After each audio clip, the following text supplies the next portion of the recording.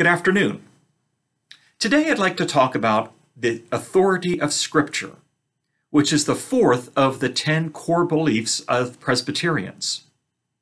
The authority of Scripture is also a hallmark of the Protestant Reformation from the 1500s. Now, by taking Scripture as an authority, we Christians are a bit out of step with the rest of the world.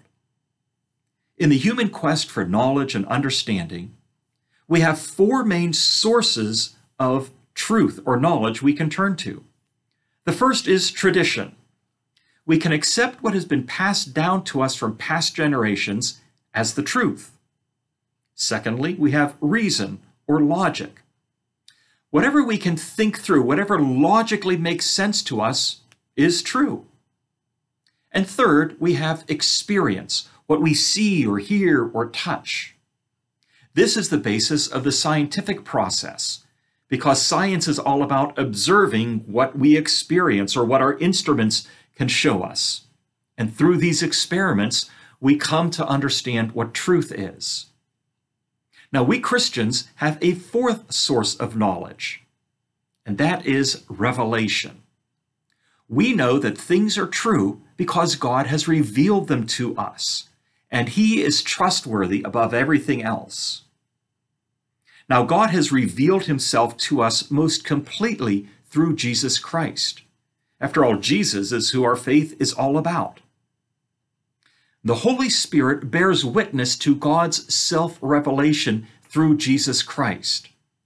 And the Holy Spirit does so in many different ways, but especially through Scripture or through the Bible. Now, the focus of the Bible is Jesus Christ. Remember, He is the ultimate revelation. He is the highest authority. The Bible was created through the work of the Holy Spirit, and we are able to understand the Bible as the Holy Spirit is at work in us. So we don't worship the Bible. We use the Bible to understand the one whom we do worship. The Bible is the Word of God but it comes to us through human words. After all, the Bible was written by human authors as they were inspired and guided by the Holy Spirit. It is necessary for God's word to come to us through human words because otherwise we would be overwhelmed or it would be simply incomprehensible. And anytime people get involved, you're bound to have problems. And so we have to understand or we have to interpret what God is saying to us through the Bible. What the Bible says isn't the same as what I understand when I read the Bible. Here's another way to put it the Bible is our authority, not my interpretation of the Bible, not someone else's interpretation of the Bible. And this is important. This is, in my opinion, so important that this is why I devoted my PhD to study ways in which we interpret the Bible in order to find out how we can discern truth in it. Now, our Presbyterian tradition has outlined seven basic principles for biblical interpretation. First, as I've already said, Jesus Christ is at the center of Scripture. Second, we focus on the plain text in front of us, not on fanciful interpretations. Third, as I've mentioned already, we rely on the Holy Spirit to help us interpret and apply what the Bible teaches. Fourth, we're guided by the consensus of the church. We don't just go off in left field by ourselves. And fifth, our understanding of the Bible should follow what is known as the rule of love. Our understanding from the Bible should elevate our love for God or our love for neighbor. Sixth, we have to study the Bible earnestly, not just half heartedly and casually. And seventh, we use the entire Bible to help interpret any particular passage that we're reading. But the Bible does more than convey information to us. The Bible shapes us. The Bible changes us.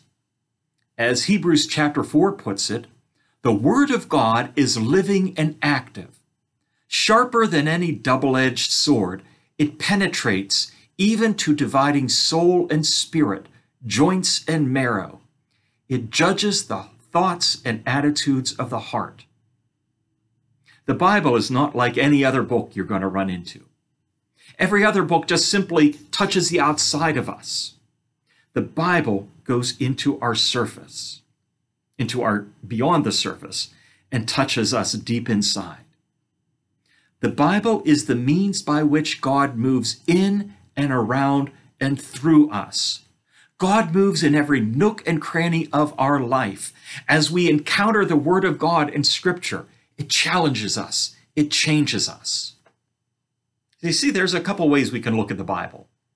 First of all, we can consider the Bible to simply be a bunch of cold, dead words on a page, stale and motionless. In this sense, reading the Bible would be like going to a museum and thinking about what God had said long ago.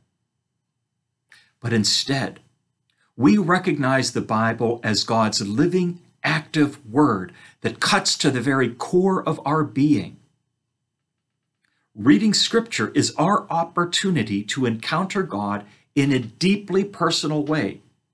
We're not just gathering ancient nuggets of truth that we might still have use for. We read Scripture so that God can speak clearly and directly to us through it. Would you pray with me, please? Lord God, we are grateful for the gift of the Bible. We're grateful for these human words, which are so much more than human words. They are your word coming to each of us. So help us, Lord, to find the joy of discovering your message to us personally in Scripture. By the power of your Holy Spirit, bring the words of the Bible to life so that we know what you are doing in our lives today. Amen. Thanks for joining me. We'll talk again later.